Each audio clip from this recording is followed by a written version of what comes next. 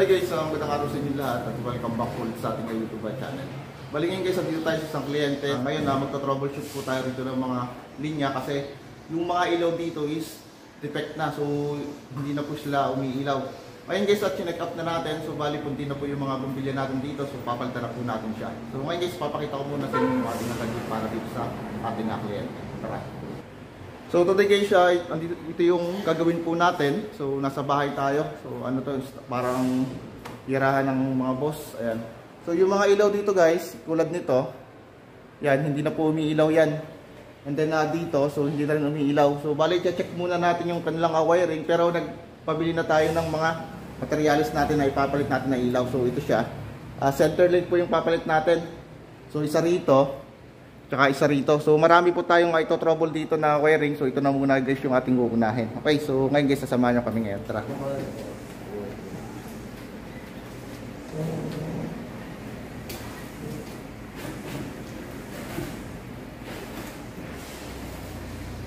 Sira na yan.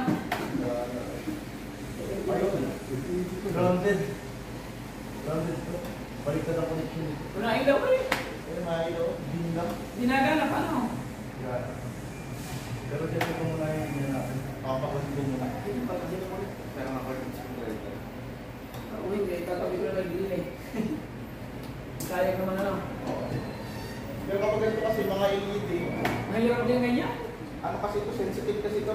Kunti kami wala na. Sabi ito pag napa dito sa metal. Wala, grounded na. Parang yung grounded ito.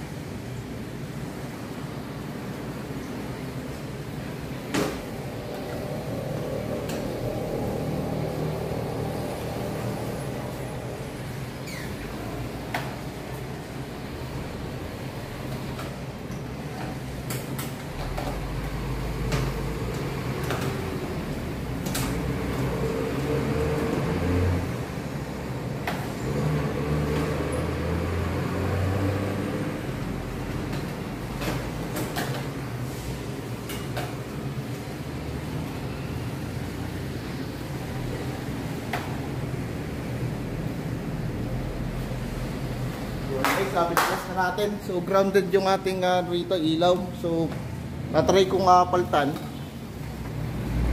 Kasi uh, meron siyang nakuiwan pang akunting ilaw kahit naka-off yung switch.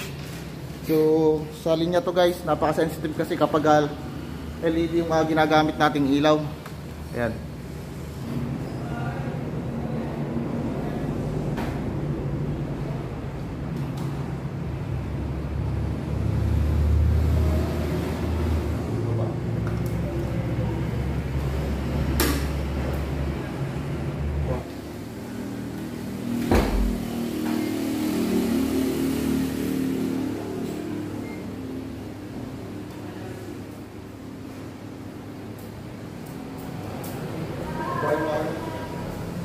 Ano po rin yung ilaw?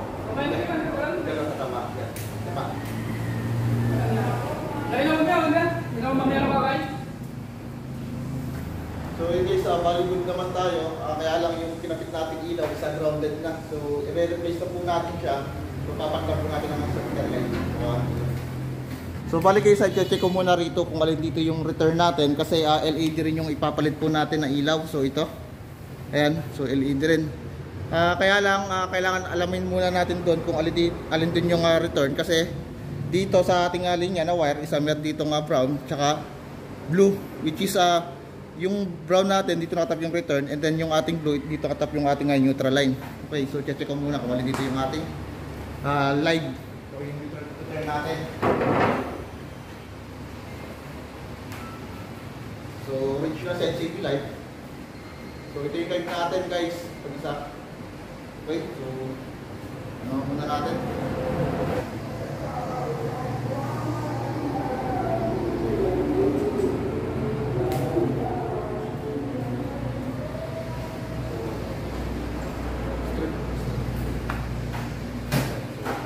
Bali guys, ayos strip ko na siya.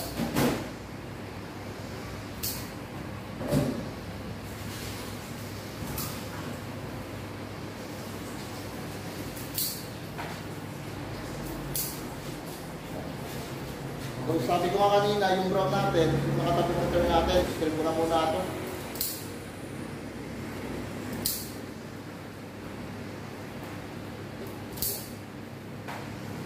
So, yun.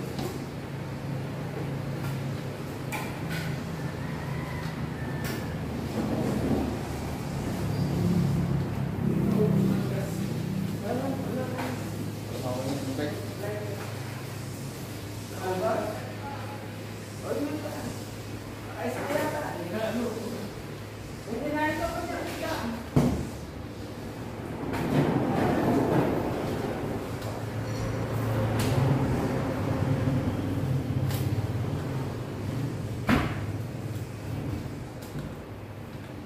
So, titipan na po natin.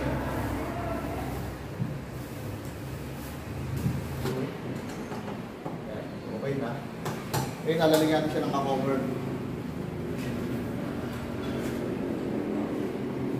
So, yung cover niya guys.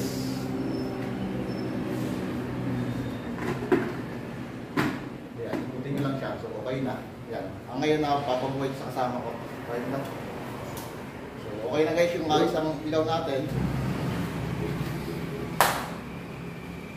So nabaklas na po natin, so napalitan na po natin siya.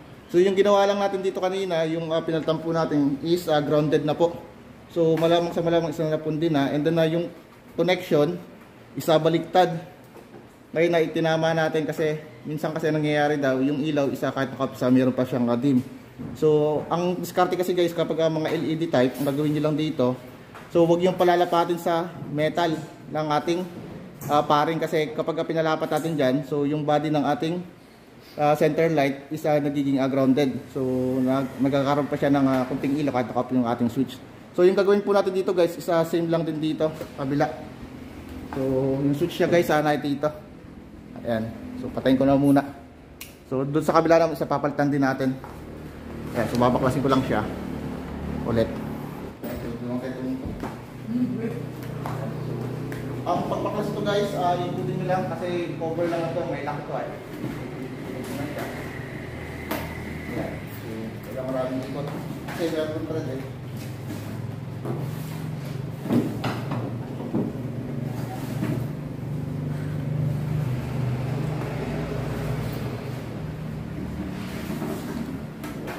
So, ito.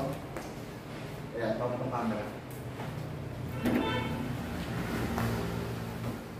Camera. Ito. So yung uh, problema naman to guys, ah, hindi siya nasu ah, hindi siya napundi. So kung makita nyo ito, ayan. So sunog po yung linya rito. Yung nasunog yung ating LED.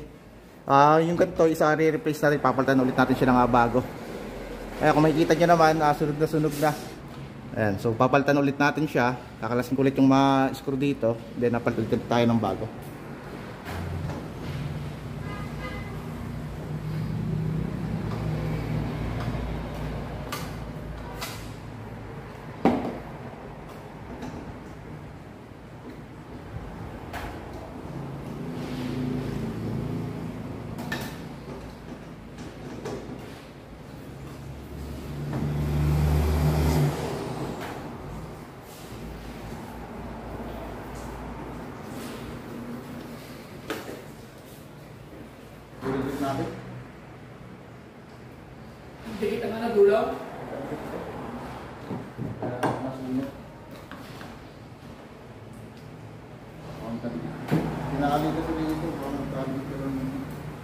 cerâmica, cerâmica.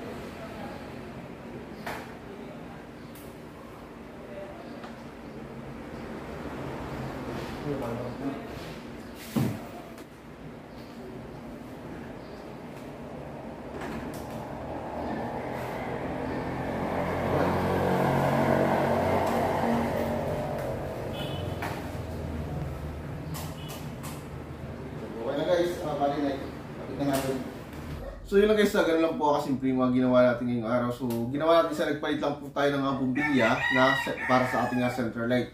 So, so today guys, ang gagawin po natin is mag-shoutout na po tayo. So shoutout tayo kay Sir Aboyet ng Antipolo City. Sir, shoutout po sa inyo. Kay Ray Puentes ng Cebu City. Sir, shoutout po sa inyo. Kay Daddy Murate ng uh, UAE, Abu Dhabi. Kay Juan Louie. Kay Alberto Aquino ng Tarlac. Kay Natarte Emmanuel P. Kay Dublag ng Asamar. Kay Joshua Vallejo. Kay Christian Ong. Kay uh, Brother Eugene ng Atagig City. Kay Saldi Mabilangan. Kay Darwin Salazar ng Upada Manila. Kay Rico Satol. Kay Robo 124 Moto TV. Kay uh, Valentin Galera. Kay Taramukbang tayo. Kay Claudio Oliver Jr. ng San Fernando La Union. Kay Cable Man ng Cebu Cable. Kay James Smart Bendibel. Kay Chris Cruz TV. Kay Dex. Kay Detix Parts ng Adabao. Kay Abradon Lumod. Kay Hill Pates ng Olongapo. And last kay uh, Tatay Lakay ng Al Lalawigan ng Abulacan. Okay. So, ilang guys, hanggang dito lang muna. Ah, sa mga gusto po shoutout, gawin nyo lang is comment lang yung pangalan nyo sa ating ah, comment section. Para sa sunod vlog is mag-shoutout ko po kayo. Sa mga di pa pala sa akin subscribe sa release, supportahan yung channel ko. And click notification bell nag-feed sa aking mga bagong video. Hanggang dito lang muna and see you in my next vlog. Thank you.